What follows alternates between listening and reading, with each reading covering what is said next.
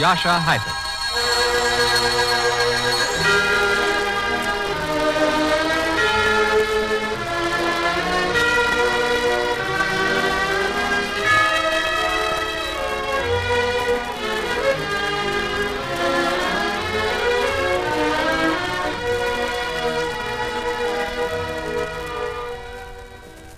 Music from America.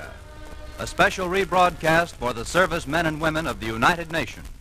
First, the orchestra opens our program with an excerpt from Mascagni's opera L'Amico Fritz. We hear the dramatic intermezzo.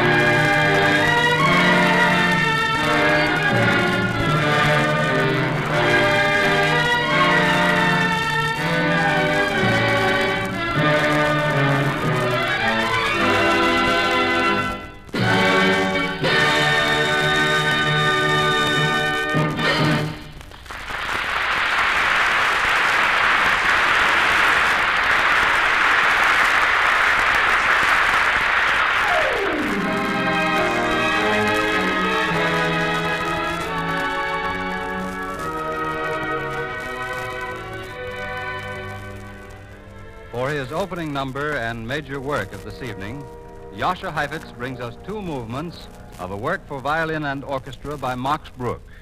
Bruch lived in England from 1880 to 1883, and we have every reason to believe that he visited nearby Scotland, for the work we are to hear shows a deep and intimate understanding of that picturesque country, its lakes and, and mist-clad mountains, its colorful folk ballads and dances. Accompanied by Donald Voorhees and the orchestra, Jascha Heifetz now plays the second and third movements of Bruch's Scotch Fantasy.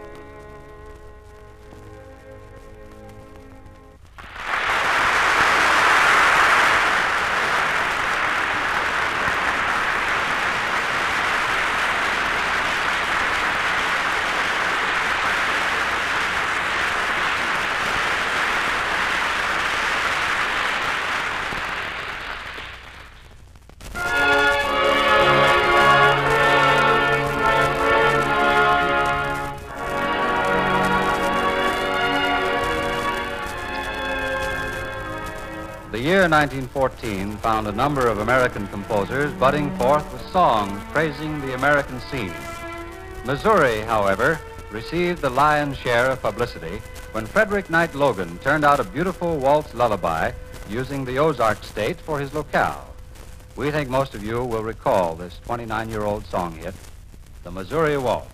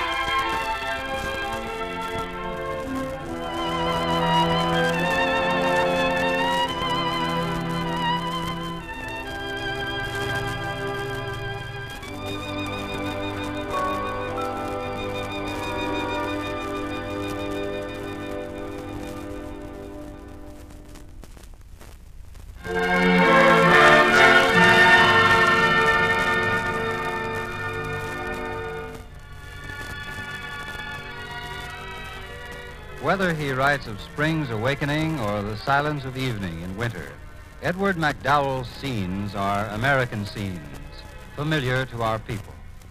We hear one of these musical murals now, In Deep Woods, from his New England Idyls.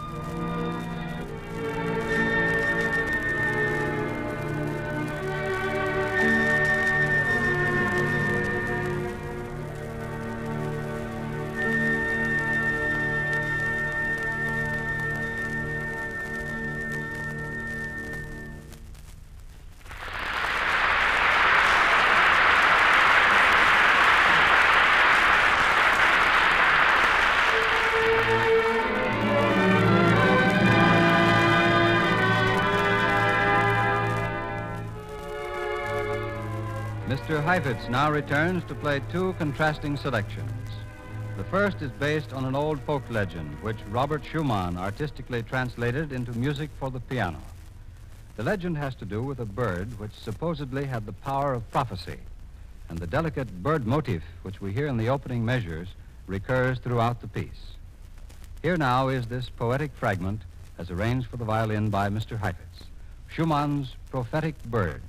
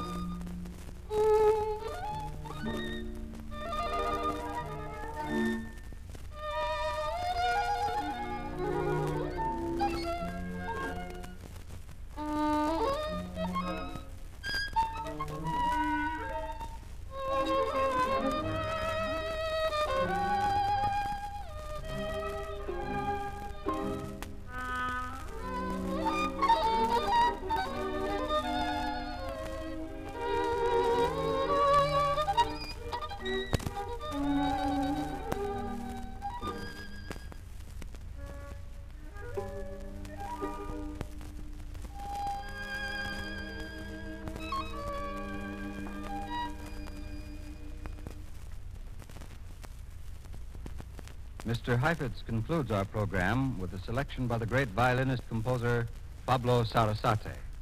Here is his colorful, sparkling Spanish dance, Zapateado, the cobbler. Mr. Heifetz.